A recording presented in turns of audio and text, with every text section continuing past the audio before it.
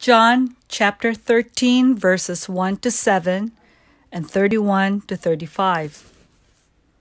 It was just before the Passover festival. Jesus knew that the hour had come for him to leave this world and go to the Father.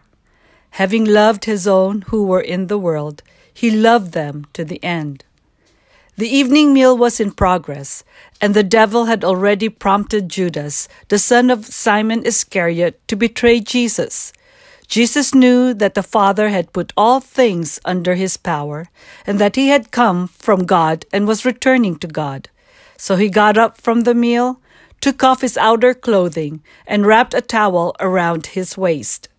After that, he poured water into a basin and began to wash his disciples' feet drying them with the towel that was wrapped around him.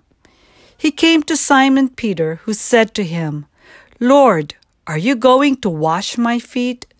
Jesus replied, You do not realize now what I am doing, but later you will understand.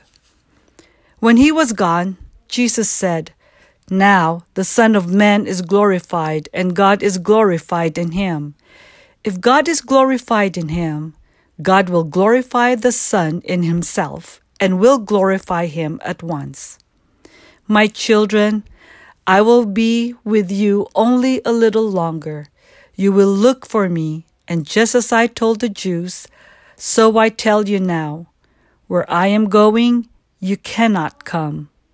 A new command I give you love one another.